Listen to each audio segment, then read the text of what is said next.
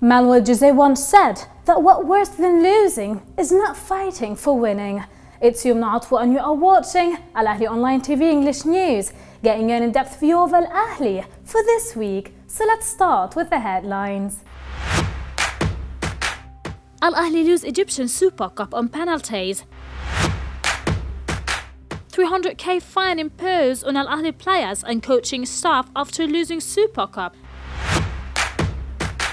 Al Ahly starts new Champions League campaign in Niger.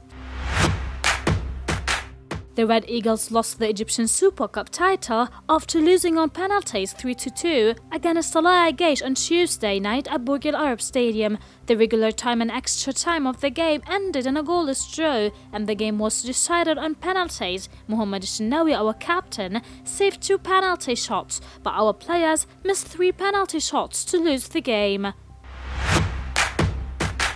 Mahmoud Al Khatib, Al Ahly's president, decided to impose a 300k fine on Al Ahly players, director of football, and the coaching staff after the disappointing performance in the Egyptian Super Cup on Tuesday, despite the great support that the team receives to achieve titles and meet the expectations of the fans. Also, the administrative staff and medical staff will be subjected to a fine that is relative to the salaries.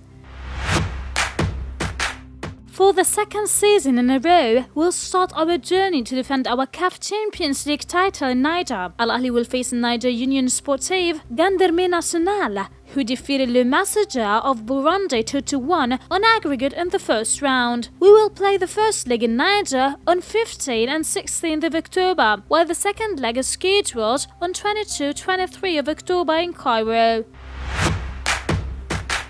Thanks for watching Al Ahly Online TV English News. From Al Ahliya Salam Stadium, I'm Youmna Atwa. See you next week.